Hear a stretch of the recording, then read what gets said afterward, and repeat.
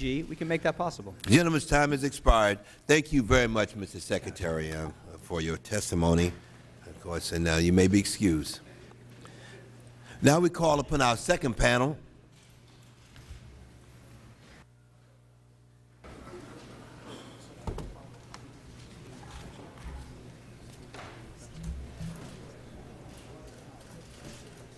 They, they got a list, yeah, you, if you have not had a chance to question,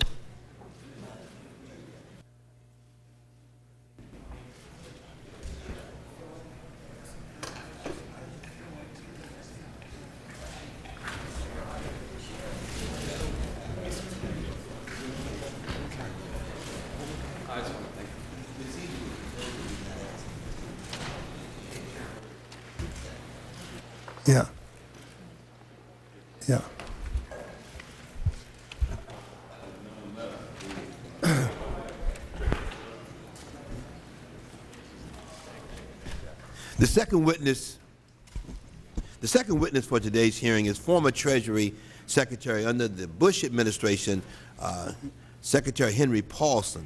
Uh, Mr. Paulson, please uh, stand as I administer the oath. Do you solemnly swear to tell the truth and nothing but the truth? If so, answer in the affirmative. Right. You may be seated. Let the record reflect that he answered in the affirmative.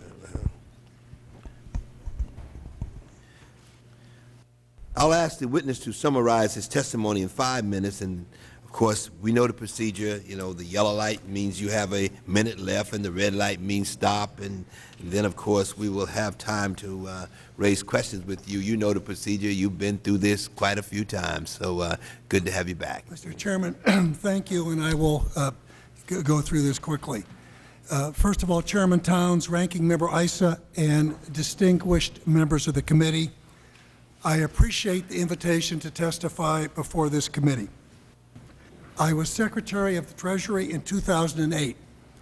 In that role, I had the privilege to work with many talented men and women in government and the private sector who labored to pull our nation back from the brink of disaster. The decision to rescue AIG was correct, and I strongly supported it. An AIG failure would have been devastating to the financial system and to the economy. Today's hearing relates to payments to AIG's credit default swap counterparties. I was not involved in any of the decisions made with respect to those payments, nor was I involved in any of the decisions about AIG's public disclosure of those payments. Those matters were handled by the Federal Reserve Bank of New York and the Federal Reserve Board. They sought to make appropriate decisions on those matters, and I am confident that this review will show that they did. I have limited knowledge on the topics of immediate interest to the committee, but I will share the following observations.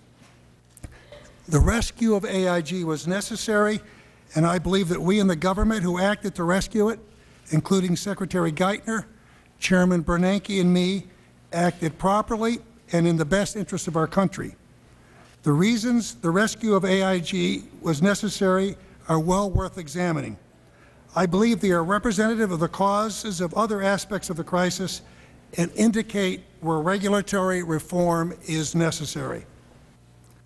There are three reasons we needed to save AIG that stand out in my mind. First, AIG was incredibly large and interconnected. It had $1 trillion, a $1 trillion balance sheet a massive derivatives business that connected it to hundreds of financial institutions, businesses, and governments, tens of millions of life insurance customers, and tens of billions of dollars of contracts guaranteeing the retirement savings of individuals. If AIG collapsed, it would have buckled our financial system and wrought economic havoc on the lives of millions of our citizens. Second, AIG was seriously underregulated. Although many of AIG's subsidiaries, including its insurance companies, were subject to varying levels of regulation, the parent entity was, for all practical purposes, an unregulated holding company. Consequently, there was no single regulator with a complete picture of AIG or a comprehensive understanding of how it was run.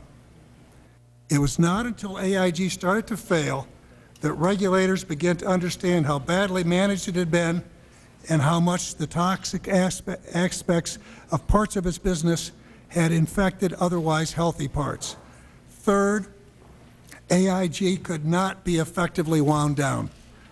Unlike failed depository institutions, which can be taken over by the FDIC with little or no harm to depositors, or the GSEs, which were seamlessly placed into conservatorship by Treasury and the Federal Housing Finance Agency, there was and is no resolution authority available to wind down a failing institution like AIG. The only option is bankruptcy, a process that is simply not capable of protecting the millions of Americans whose finances are intertwined with AIG's. The government rescue of AIG in the fall of 2008 was directly shaped by these realities. We had to protect the economy and the finances of millions of Americans. We could not have anticipated the magnitude of AIG's problems, and we had no way of letting it fail without disastrous collateral consequences. We had to intervene, and I'm thankful we did. I do not mean to say that I'm happy we needed to intervene. Taxpayer money should not have to be spent to save a misguided and mismanaged enterprise. But the fundamental problem lies not in how we intervened, but why we needed to intervene. We need to modernize our regulatory structure by creating a systemic, systemic risk regulator and resolution authority so any large firm that fails can be liquidated without destabilizing the system. Large financial institutions in this country will always play a role that is essential to our economic growth. But they must only be permitted to grow and interconnect throughout our economy under careful oversight and with a mechanism for allowing those connections to be broken safely. Thank you, Mr. Chairman, and I'd be happy to answer any questions. Thank you um, uh, very much for your, your testimony. Uh, let me say that you were deeply and aggressively involved in dealing with the financial crisis. And uh, uh, we saw that with AIG, of course, and Bank of America, and, and with the TARP. My question is, why did you sit on the sideline uh, and, and not use your considerable influence to call the CEOs of the uh, counterparties and to get them to take a haircut? I mean, why wouldn't you do that? I mean, you you a person that was uh, very influential in all of this, you know, uh, and I can understand why you wouldn't do that. Well, Mr. Chairman, as you indicated, I had no involvement uh, at all in the, uh, the the payment to the counterparties, no involvement whatsoever. Now, to- to explain this, we worked uh, very collaboratively during, during the crisis. There was a lot going on, uh, coming at us from all sides. And whichever agency had the authorities took responsibility for execution. And this was clearly a case, it was a Federal Reserve loan. They had the authorities to make it and administer it, and they had the technical expertise to, uh, to, do- to do the restructuring. But, you know, uh, I just see it a little strange that you would sit on the sideline and not help the American people in terms of, uh, I mean, you were so involved in the early stages, and you were, I mean, and throughout the process. And then to sit on the sideline at a time like this, I, I, I just f- find Mr. that. Chairman, anybody that knows me know I was not sitting on the sideline. I was, I, I was not involved in this issue, but I was involved in many other issues every single day of the week, uh, and including weekends. So I, I didn't Uh, spend. Why not? I mean, why wouldn't you be involved in this? Well, Because this was a Federal Reserve loan. They had the authority, they had the technical expertise, and, and I was- and I said in my testimony, I have great confidence in the, the professionalism, professionalism, the integrity, the motives, the abilities of the people that were, that were handling this. So this was their job to handle, and I was working on many other things which were in my bailiwick. Let me ask another question then. Um, why wouldn't you um, uh, let AIG go into bankruptcy? Why, why not? If, if AIG had failed, this was a huge financial organization, interconnections throughout the economy. If it had failed with the system as fragile as it was, I believe it would have taken down the whole talk back into the microphone? They're having I believe it would have taken you. down the whole financial system and our economy. It would have been a disaster. Today, after all the actions that have been taken by the U.S. government, we still have this terrible 10% uh, unemployment level. I believe that if the system had come down and failed, we could easily have had unemployment reaching or exceeding the 25% level we had in the Great Depression. We would have lost uh, many additional billions of dollars in uh, American savings. Uh, home prices would be much lower than they are today. So, as unattractive as the government rescue of AIG was, and none of us that supported that found that to be an attractive or desirable option. It was just much, much better than the alternative, which would have been economic disaster in this country. Right. Um, I now yield uh, five minutes to the gentleman from California, the ranking member. Uh, Mr. Chairman, I would ask that we go to the members who did not have an opportunity in the first round. And, and Mr. Chairman, I'd also ask us one thing.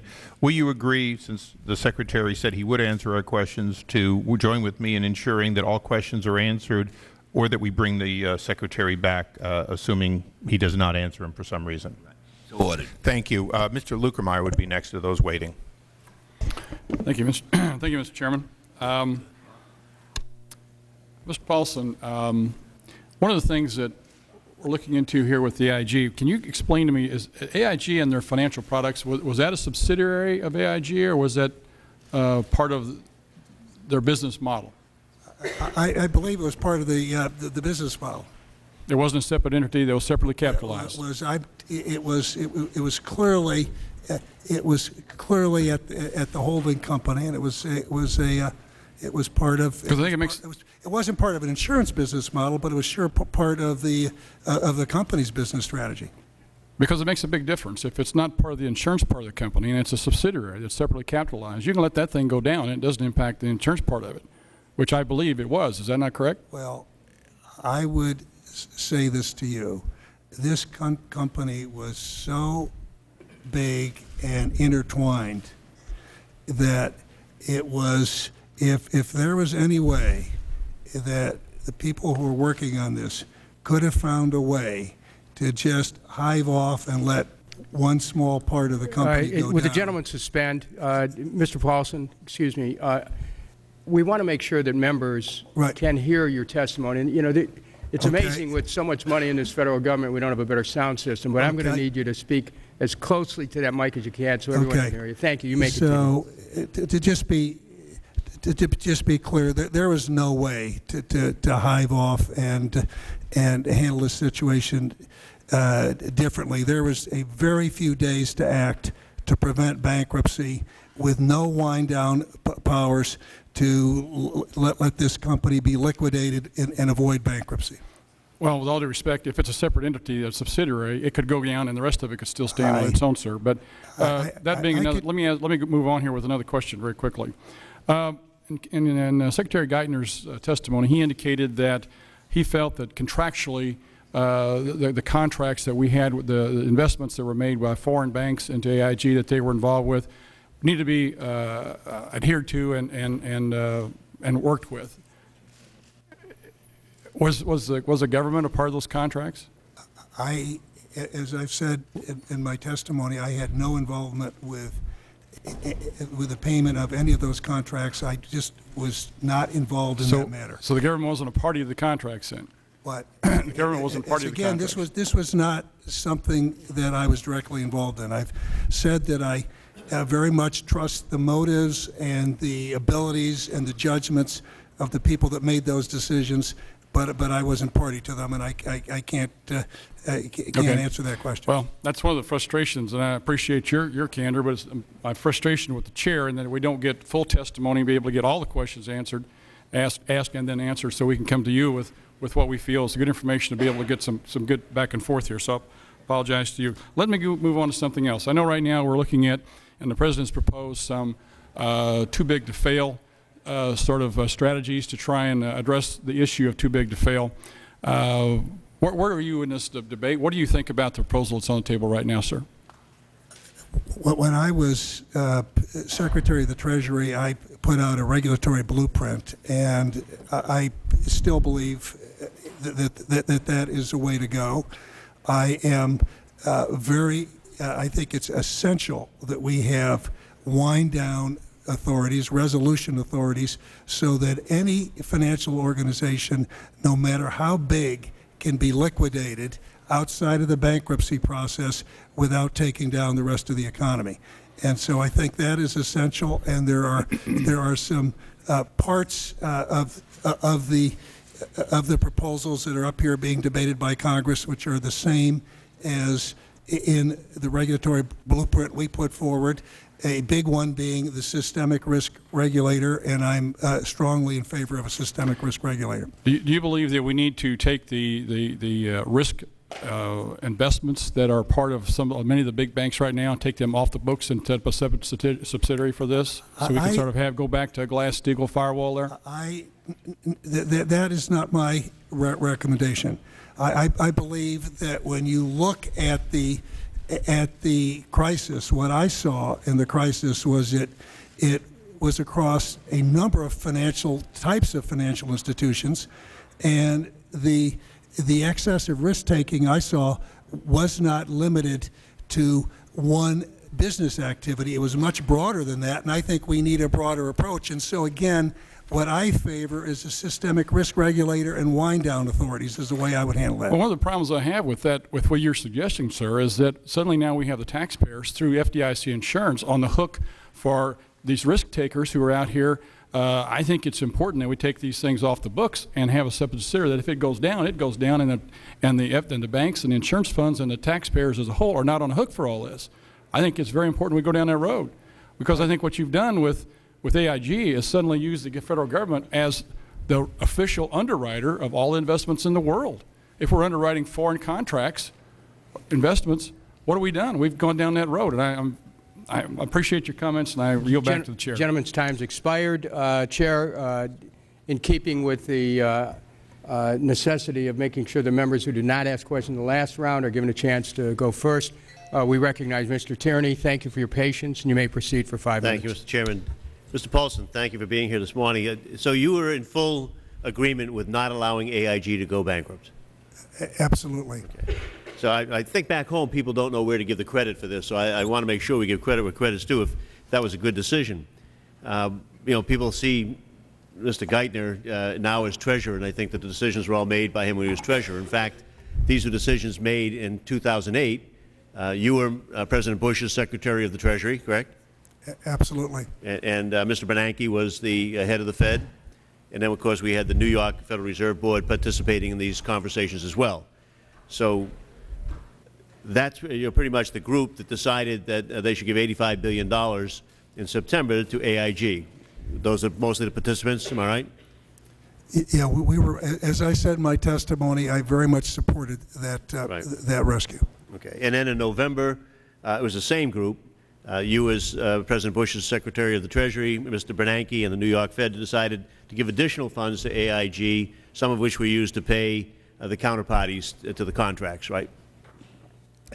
Yes, in, in November, uh, in the TARP, we made a, a, a $40 billion capital investment, and then the Fed put some additional money in to, uh, uh, which was, which was used uh, for the contracts. Well, and just so we're clear, we- we're giving credit here. The TARP, the $700 billion in TARP, in fact, was uh, during your term as uh, Secretary of Treasury Oh, under yeah, President I'm not- Bush. I'm, I- I'm, I'm proud of that. So okay, and that was your idea, was it, the TARP? That was, There was a number of our ideas, but yes, and that's something I'm proud of, and it's something that was very necessary. And the $85 billion uh, that was loaned to AIG was not appropriated by Congress. Nobody asked Congress to make a vote on that, am I right? No, that was a decision taken by the Fed with the support of And what Treasury. money, uh, what source of money did they use to get that 85 billion?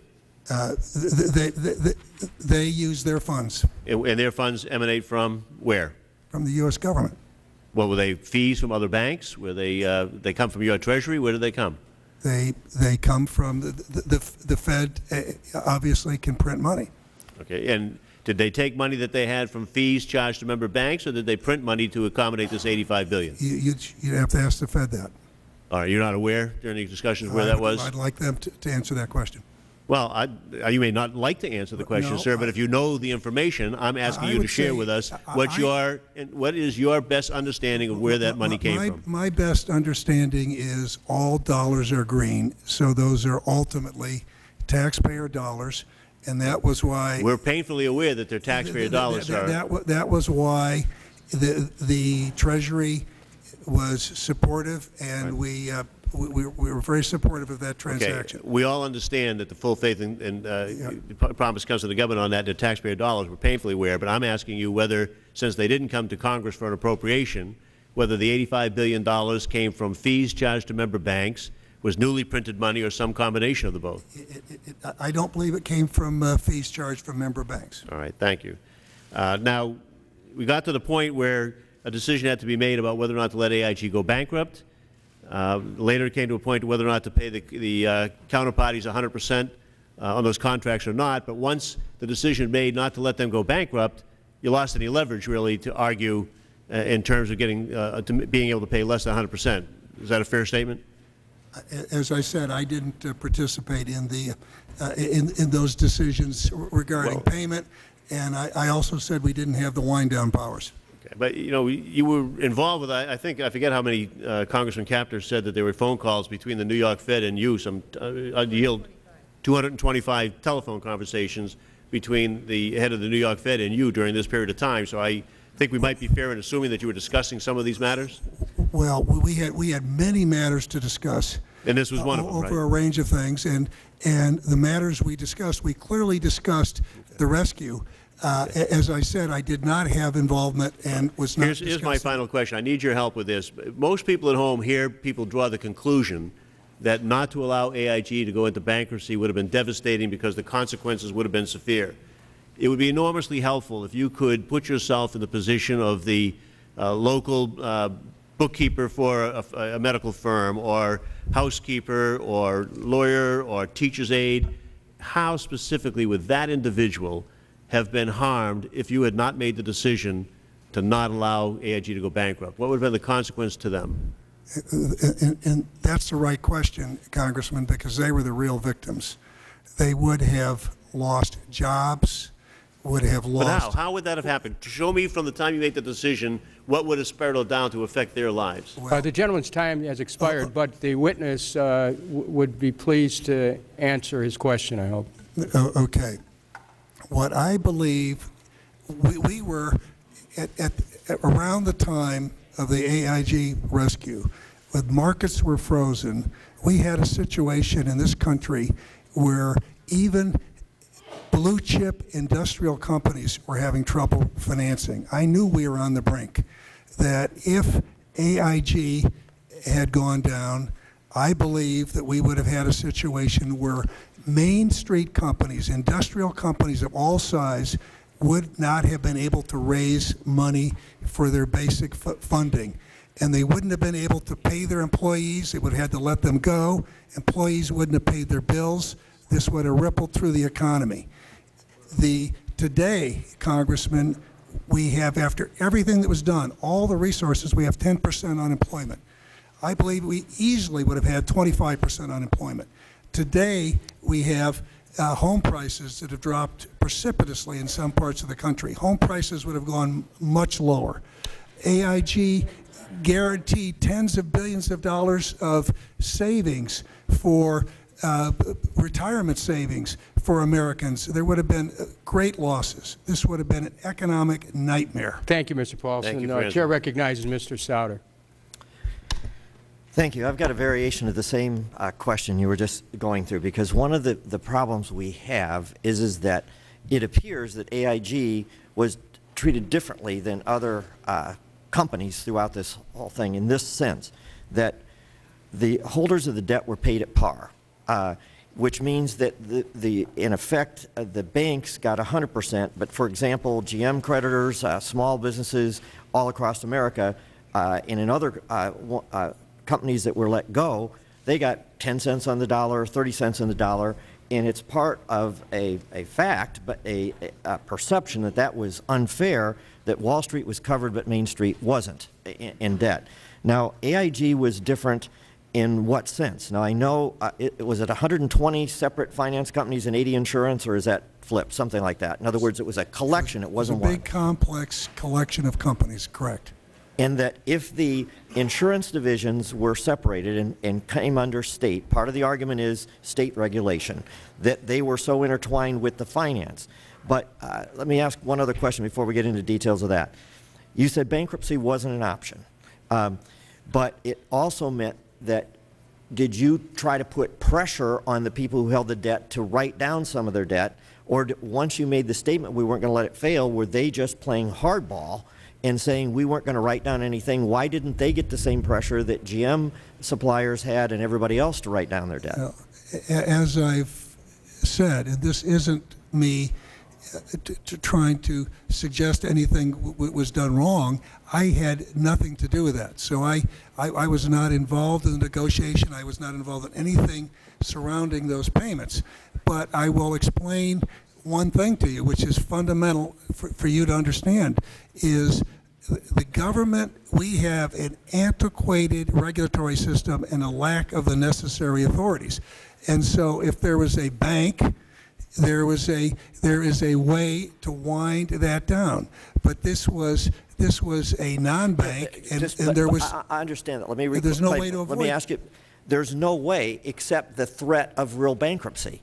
And that if you're a bank and think you can negotiate at par and get a full percent and you don't have a threat of bankruptcy, the question is, is did anybody threaten them? Did anybody say that if we're not going to, I mean, did we in effect yield the debate at the beginning, they played hardball and we had no way to do it, uh, that uh, if in fact uh, you would have even threatened to say, hey, we can cover the insurance people, but the finance side over here, you better negotiate down or that side will go bankrupt, and then you'd wind up probably having to do what we did in TARP anyway, which is put cash reserves into the banking system to try to cover the fact that the bankruptcy went out. Would that not be true? In other words, had they gone bankrupt, and there really was a catastrophic threat, which I believe because I voted for TARP, uh, that um, a catastrophic threat, wouldn't you have just had to put more money in the banking system, but not necessarily at par?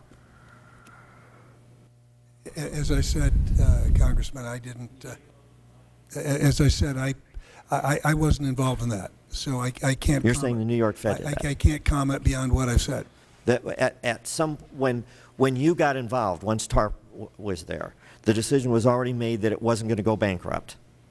Is that correct? Wh- wh- When I, when I, well, for- first of all, I was involved in supporting the initial rescue, and then. So you were involved. th- th- I, I'm- we- just a second. You were involved, and did Yes, you I- advise the Fed to try to get what they could and not do pay Well, at par? what the Fed, the, the initial rescue was not the, it was not when they dealt with the, the payment to counterparties. So I was, supported the Fed on the initial loan, and then, uh, l- later, in November, the situation had deteriorated to the point, and values in insurance businesses all around the world had deteriorated to the point that this was a company that would go down without capital.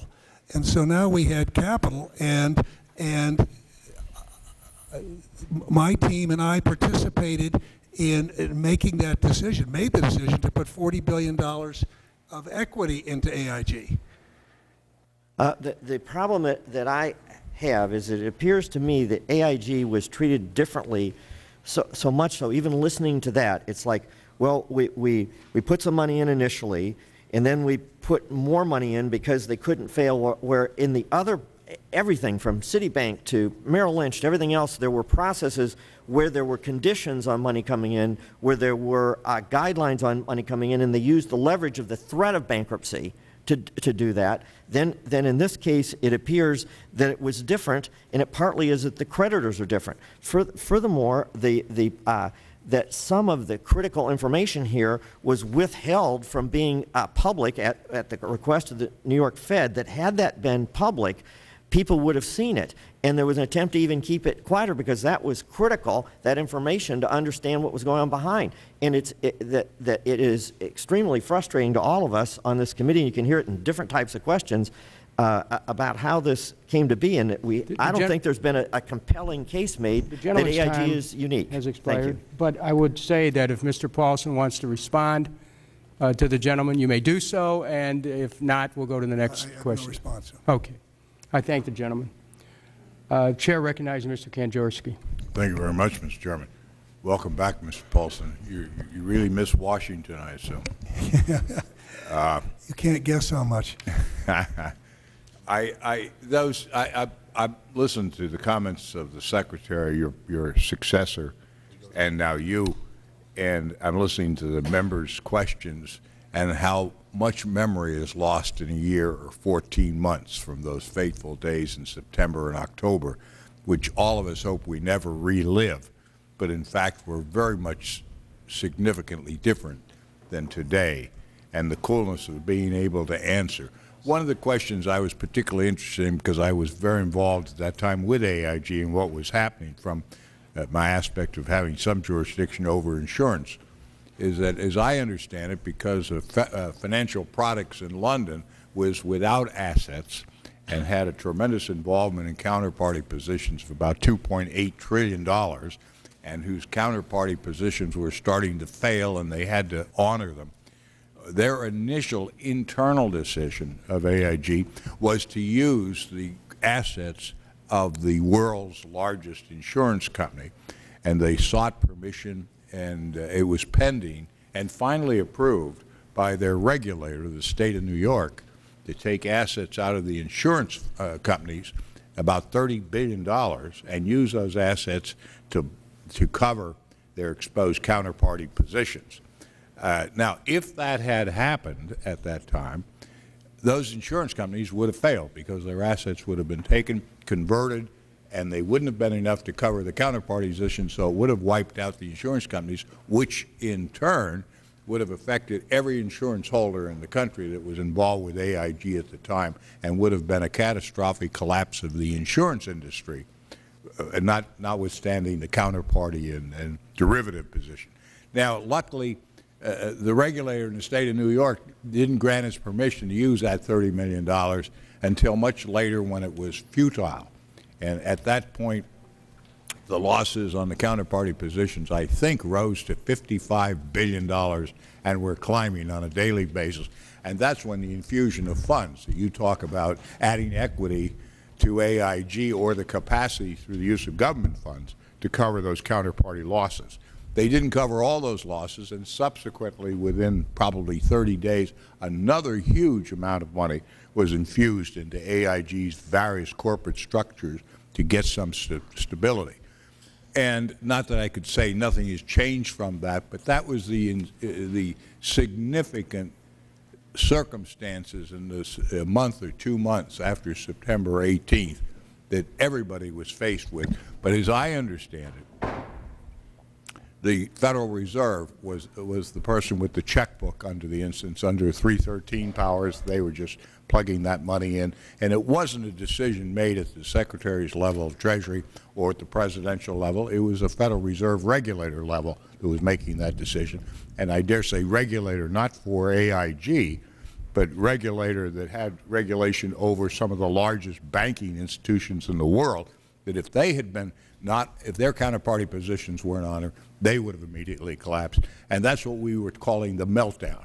Everything was going to implode, and, and, and you had to stop it at the headwaters, not wait until it got out into to the little dams out in the stream. Is that relatively the correct position? I would say, without signing off on every fact you mentioned, I would say you've got it in the sense that there was, this was a very complex company, and there was, if, if it had gone into bankruptcy, it would have been a huge mess, and it would have, it would have, uh, one part of the company would have contaminated the other, and it would have rippled through the U.S. economy, and, and the result would have been absolute disaster. All right. Mr. Chairman, I know there are other questioners. I've had the opportunity to ask them today, so I yield back the balance of my time. I uh, thank the gentleman for his courtesy. Uh, Before uh, I I recognize uh, Mr. uh, Bachus, I want to take the liberty as chair to um, recognize students from Padua French Franciscan High School in Parma, Ohio, are visiting uh, the Capitol and uh, seeing their government at work right here. So welcome, uh, you and your teacher, and we're pleased that you stopped by for a visit. Thank you. The uh, chair recognizes Mr. Bachus of Alabama. Uh, Welcome, former Secretary. Uh, Secretary Paulson, um, March 2009, you know, September, um, March 16th was when uh, AIG was, the payments were made to AIG or or guaranteed. Um, Leading up to that, you were- you participated in uh, several meetings uh, about AIG, is that correct? Prior to March of, of 2009? prior yeah, I had a number of meetings uh, about AIG as we were putting in capital.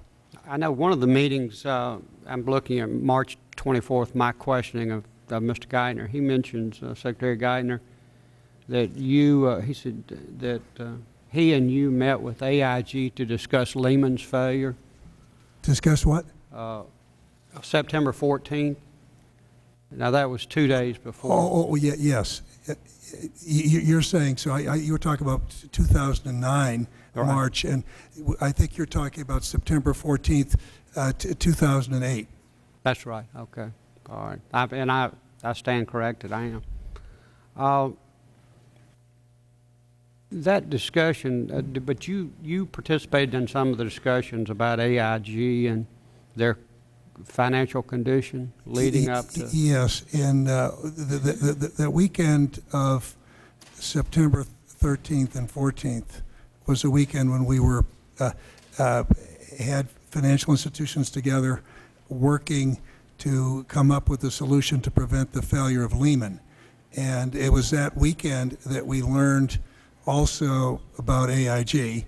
And I had uh, two meetings over the course of that weekend at the New York Fed with Tim Geithner, with, with uh, officials from AIG. right. Uh, In those meetings, was there any discussion of, of uh, asking the counterparties to take less than 100%? Was, was there any discussion of what? Any discussion of the counterparties taking less than 100%? I, I sure don't recall any. We were talking about the financial problems that, uh, that, uh, that, that AIG had, and it was clearly, they, had- they clearly had issues with counterparties. Right, what, what, They, they clearly had issues with counterparties because that was the, the, the crux of the issue, was, uh, what was a ratings, a potential, uh, uh, ratings downgrade, which would cause, uh, the company to have to post collateral. And so, and so that would lead to, uh, to dispute. so, so their obligation to the counterparties was discussed? Well, well, obviously, that was the, uh, the, the, the- the issue, any, any, any institution that is facing failure Sure. is, is going to have an issue with paying, uh, paying creditors. Sure. I'm not. Uh, You know, once that intervention occurred, then the, the, really the taxpayers, the U.S. government owned 79.8% of AIG, uh, more or less. I guess, is that correct, isn't it? Yep.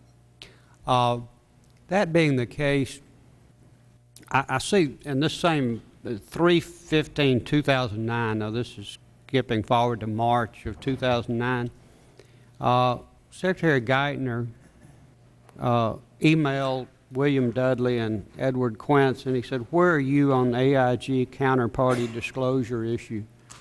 Um, You know, are you for disclosing or not? Now, Uh, Would the gentleman yield, could, could you put up slide one, please, so they could see it? Thank you. uh, what would your advice have been on whether or not that should have been a public disclosure of, uh, of the counterparties and their obligation? And with the fact that, that really the taxpayers own over 79%, almost 80% of the company have made any difference? Well, as a general proposition, I'm very much for disclosure, Uh, but I wasn't part of this. I had nothing to do with that decision, and I am not going to sit here now and second-guess others that were, uh, you know, that I know people with, Sure. with with strong integrity and and- and goodwill trying to do the right thing. Well, just take a situation where the, where you do have a company that's, you know, 80% owned by the U.S. government. Uh, Would that, would that uh, tend to make you think that they, that there ought to be disclosures of their obligation? Well, bu- bu- public Uh, the- companies The gentleman, uh, uh, public his time is, have Mr. Paulson, the gentleman's time is expired, but you can answer his question. I'll, I'll be brief, but pu- public companies have disclosure obligations, and that's governed by the SEC, and, and I think those are, those need to be adhered to. Thank you. Okay, I, uh, I thank the gentleman. The chair recognizes uh, Mr. Cummings of Maryland. You may proceed. Mr. Paulson, good seeing you again. Let me ask you this, Mr. Paulson. Do you do you um, do you realize that uh, a lot of the American people believe that there's uh, a sort of Wall Street club, and that let me, let me finish. That you all play golf together and you have a lot of fun, and then you you know when the billions come around, you're able to kind of distribute them. I mean, I, I'm just saying. Do you know that that's how people feel? I, I, I sure do. And uh, even though, Can you I'm- keep your voice up? I said, even though I'm not a golfer, I sure know that's how people feel. Yeah, and they and they when they see these deals going on, then the, the next thing they do is they begin to look at where people worked, and then they see the relationships, and then they say, well, you know, we don't have a chance because it seems like they're kind of looking out for for themselves, but not looking out for us, and so you know, you you just gave a statement about transparency, and um, you know, they and I think one of the things that bothers people is when they don't see transparency, then they begin not to trust, and when they begin not to trust, it becomes very difficult for them to go along with any program. And then when you put on top of that that they can't see themselves benefiting, and I know that you mentioned that if if we didn't do what we did, and unemployment may have gone up to 25 percent, but it's hard for people to even see that. You, you understand? Yeah, I, uh, Congressman, you've got it, and that's, uh, people are very, very angry, and I understand it, why they're angry, and they're rightfully so, because they don't see the connection. Uh, and, and they don't recognize that what was done wasn't done for the banks, it was to, to, it, it, it, they, they were going to be the victims if, Yeah. if, if we didn't step in. And so, among the conditions in the TARP AIG SSFI investment senior preferred stock and warrant summary of senior preferred terms as posted on Treasury's Department's website, the following condition is noted. Quote, the annual bonus pools payable to senior partners in respect of each of 2008 and 2009 shall not exceed the average of the annual bonus pools paid to senior partners for 2006 and 2007.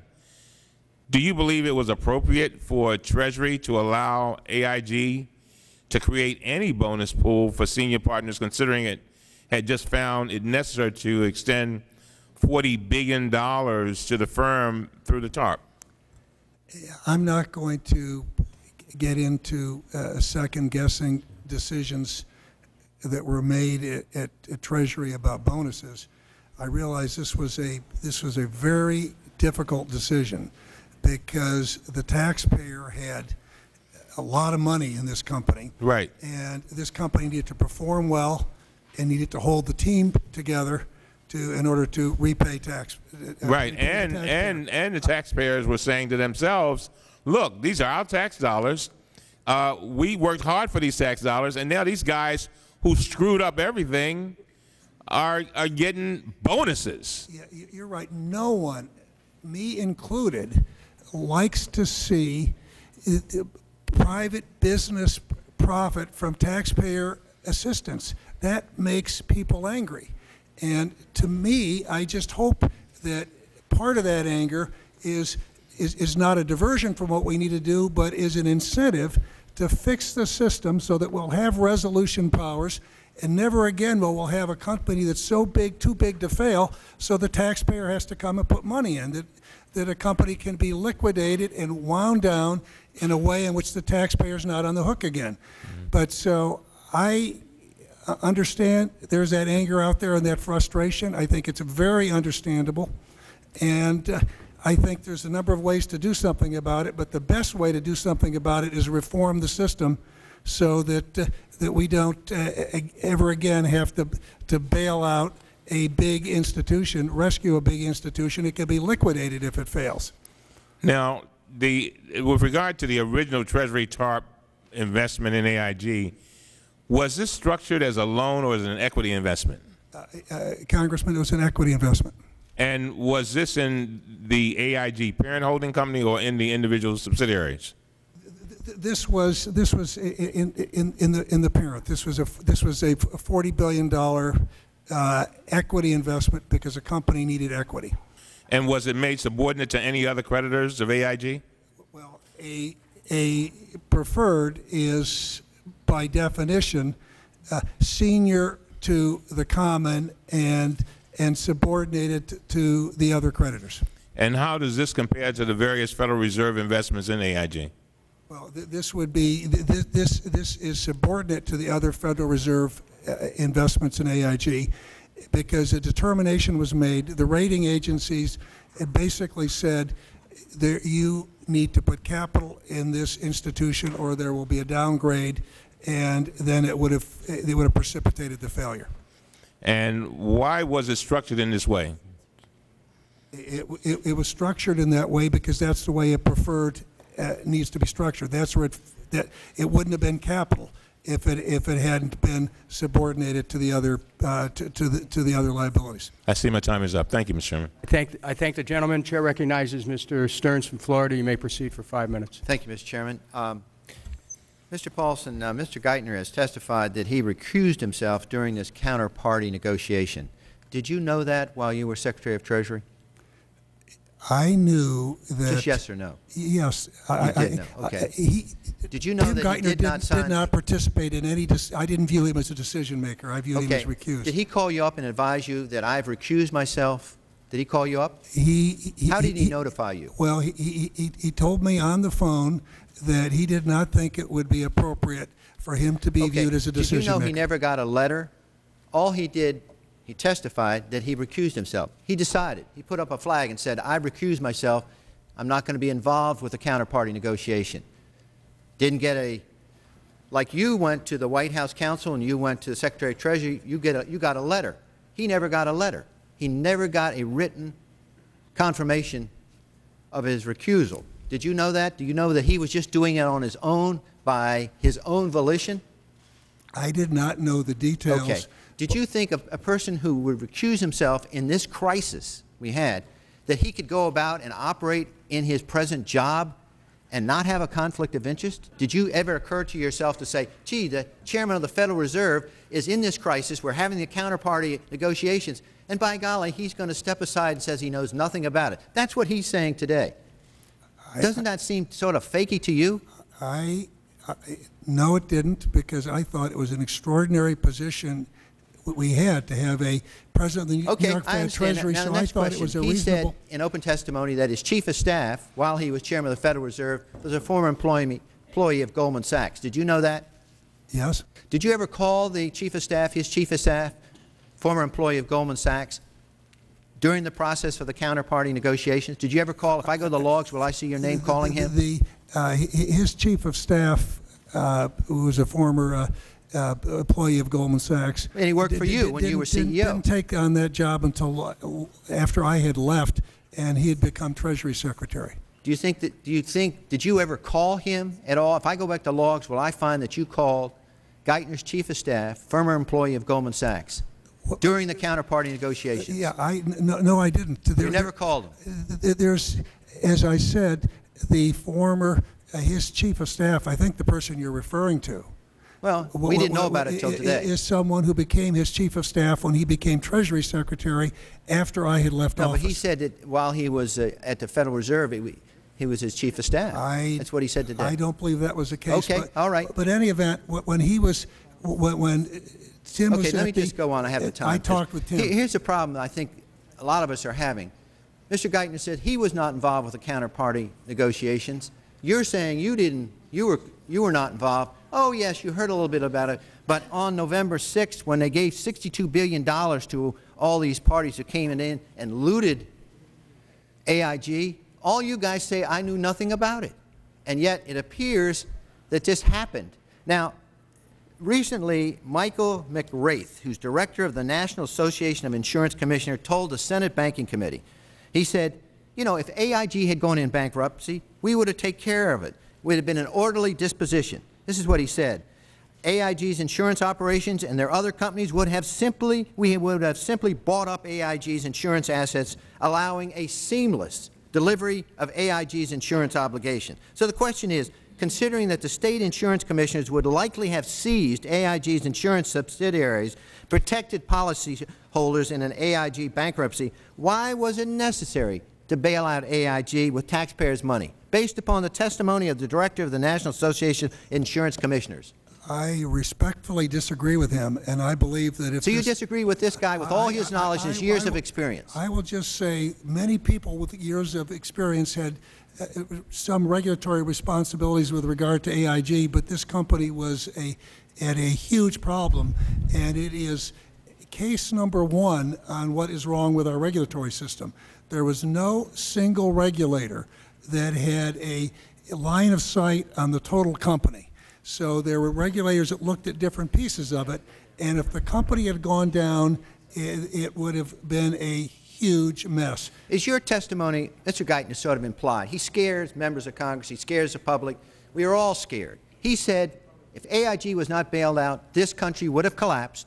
He intimated our Constitution would not have been able to be enforced. There would be a revolution in this country. Do you think it's at that extreme? If we let AIG go bankrupt, we would have had that kind of collapse and revolutionary spirit in this country? Is that what your position is today? I certainly have never said that, but what I He implied that. what what, what I've said is I believe we would have had an absolute economic disaster. And our system Gentlemen, of gentlemen, government. gentleman's time has expired. Gentlemen's time has expired. Uh, We'll now recognize the gentleman from Ohio, Mr. Kucinich. Thank you, Mr. Chairman. Uh, Secretary Paulson, thank you for being here today.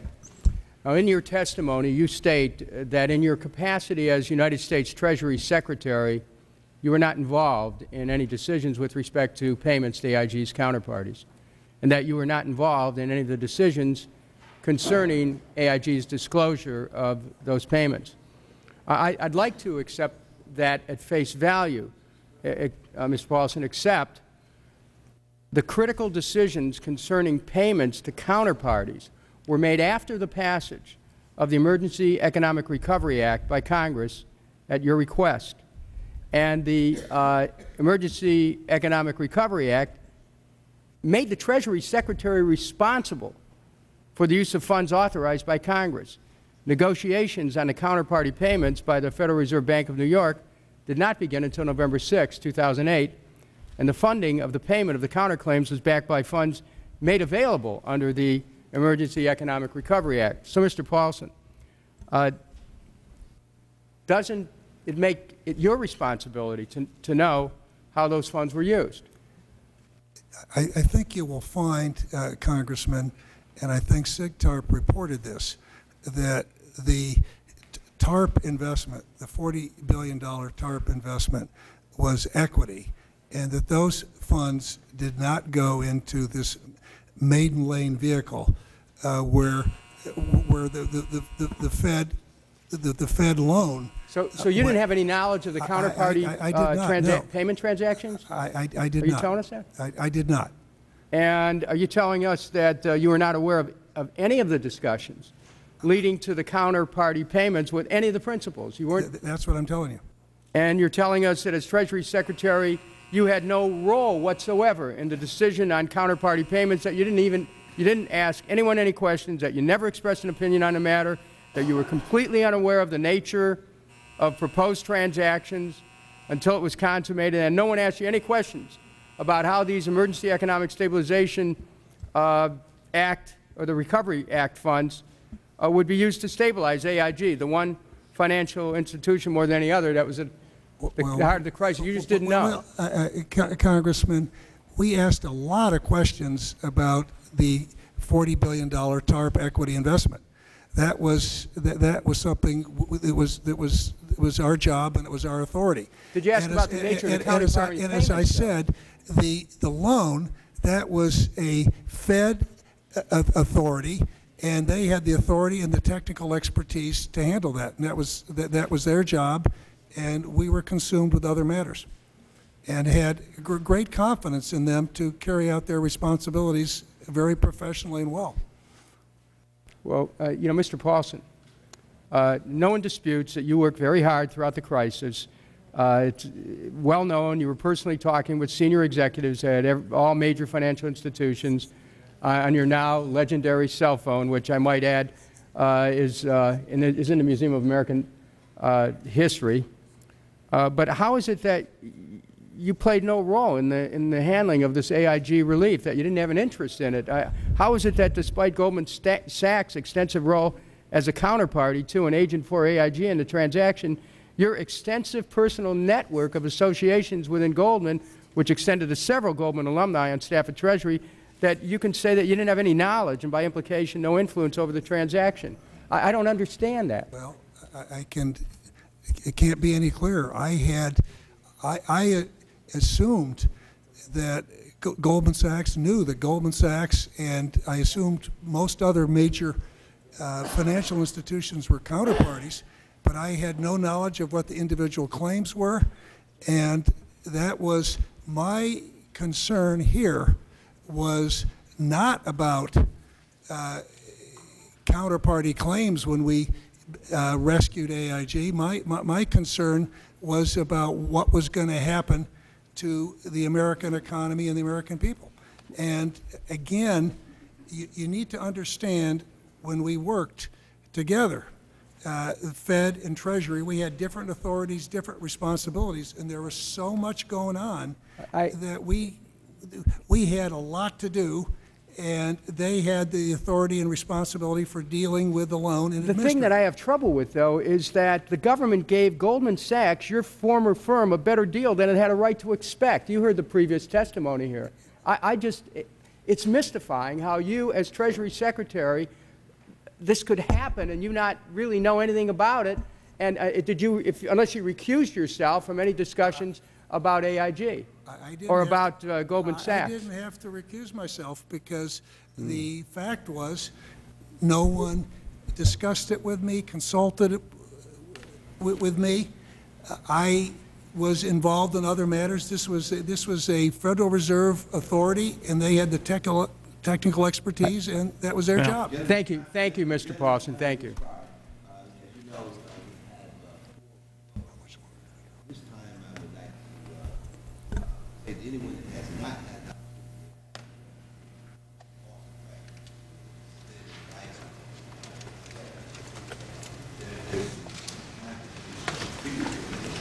Mr. Chairman?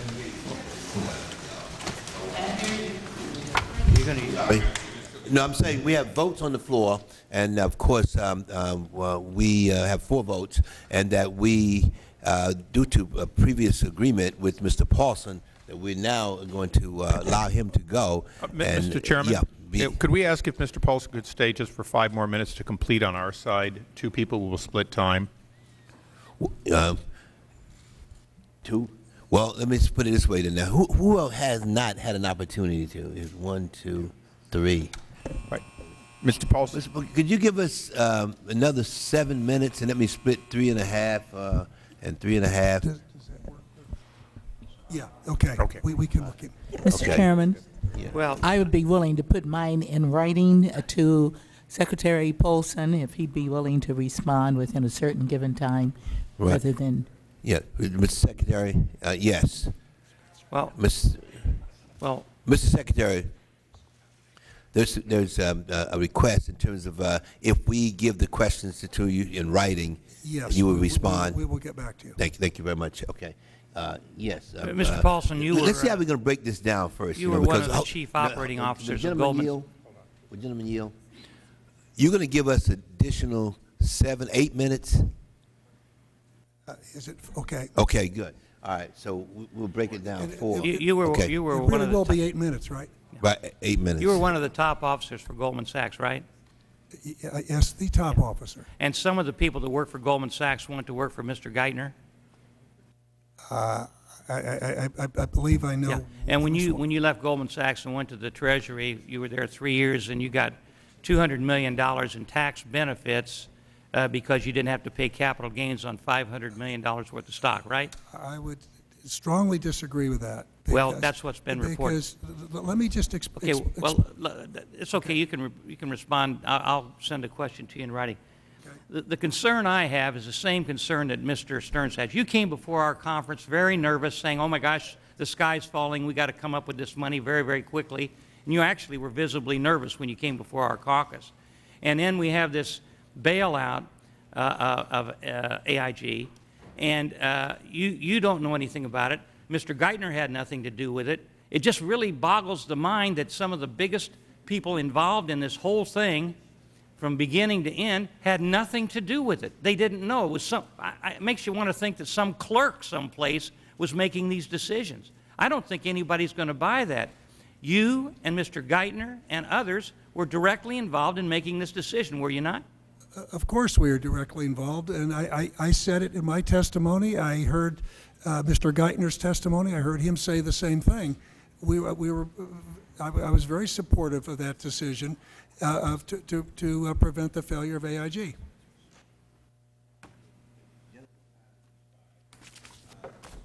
Go to gentleman, who's next on this, on my side?